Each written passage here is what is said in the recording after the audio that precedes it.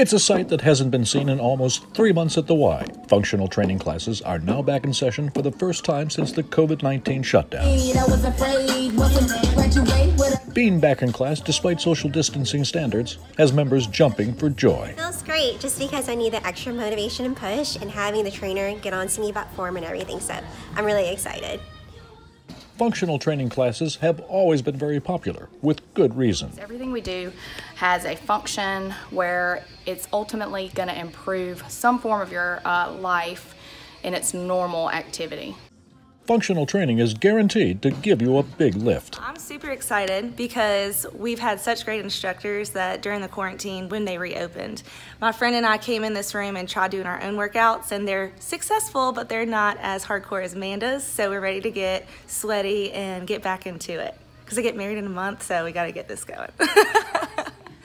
For some, it's just nice to get back into a familiar routine. Uh, it's good to be back, that's for sure. Uh, there's been a lot of changes to the Y. I've noticed, uh, but it's just good to be back. And um, it's good that we have the Ryan Center now starting tomorrow, so hopefully things will start to get back to normal.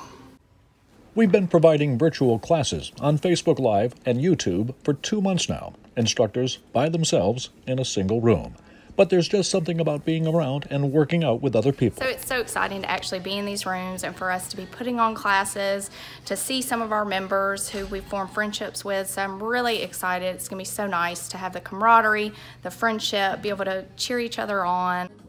And now that we're back to working out together in class, the weights seem to be just a little bit lighter. Doug Walker, reporting for our YMCA.